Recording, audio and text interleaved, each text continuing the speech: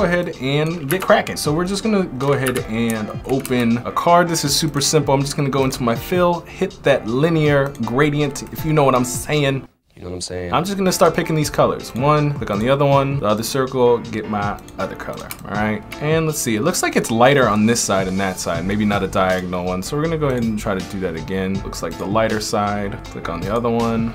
And we're gonna pull this over here and pull this one down. All right, let's let's get into our radius. So we're just gonna raise this up real quick. I'm gonna elongate this just a little bit because that's what the card looks like. Cross check this really quick, just make sure we have our sizes about right. There's no better way to like figure out how somebody made something by just overlaying some stuff. All right, so we got that. We're gonna go ahead and do our 15 euro.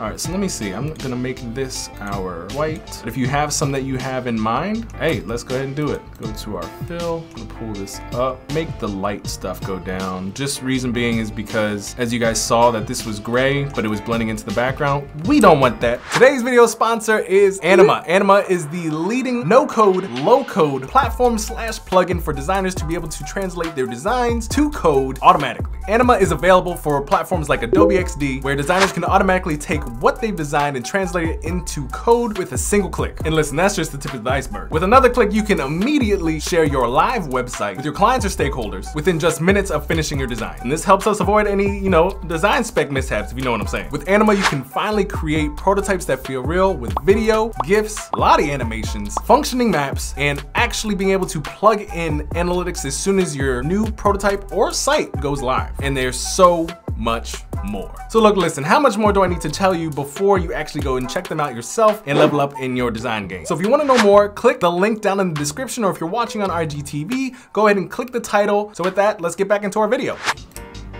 I'm just gonna duplicate this over. I am now just going to get our light brown and we are going to get that dark brown. Pull this baby up and we're just gonna fix our other colors. Make that white, make this 25, and let's just make everything else white as well while we're at it. And something does look a little bit different. Oh, that's why, because it's not actually white. It's probably an off gray. All right, now I'm just gonna make space between all this stuff. All right, and I actually don't really care what it says on this, but I really want to get to the just like the simple interaction. I'm gonna take the size of this. Let's see, height is 336. I'm gonna do the same thing here, pull it in, and take the border off of this. I'm gonna duplicate this so I can bring this in and just hit Control Shift M and make a mask so that I can hide this arm. Okay. And just for the sake of it, regular plus extras. Oh, estate. Now we get into the actual animating. So this is what we're gonna do. And on hover, we're just gonna do the point up. And it also looks like there's a shadow thing initiated. So we're gonna do that super easy. I'm just gonna hit Command K to make this a component so I can make a hover state, which is just click of a button, hover. We're gonna click into this component. We're gonna find our mask with our image.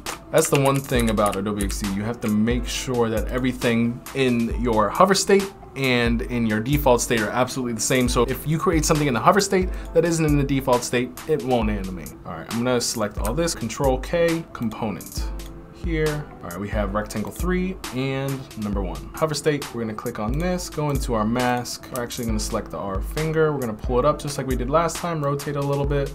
There we go. Uh, we didn't do auto animate. All right, so what we're gonna do here is we are going to click on this. The trigger is hover. We want it to auto animate. We wanna do snap. All right, we're gonna do six seconds. Let's see. There we go. At least we got the hand. We'll have to figure out the background now. Rectangle one. Oh, that's what it was. Bruh. Okay, like I said before, Adobe XD is really, really picky about the names. The names aren't right. They will make it seem as if um, they won't know that they're related, basically. There we go. I want to get into creating the shadow on this. So what I'm going to do is because things are a little funky, I'm going to duplicate this. Rectangle one, we now have a rectangle seven. I'm gonna name it rectangle sh uh, shadow. Then we just put a mini shadow on it. Blast the border real quick. Turn the opacity down on this. Let's make it more at the bottom. Let's turn this blur just a little bit. We're gonna leave this uh, rectangle just like that. Now what I'm gonna do is I'm gonna take these other bits, select everything, and I'm just gonna push it up just a tad.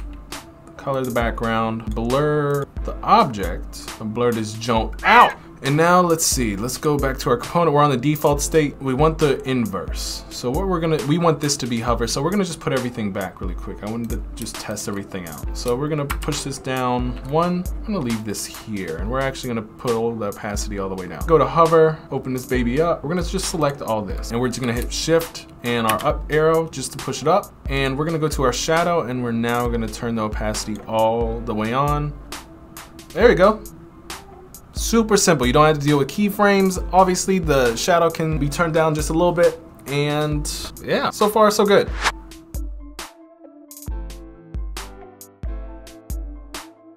Let us begin. We're gonna fill the background like this. Okay, we're gonna start typing out hip hop. Boom.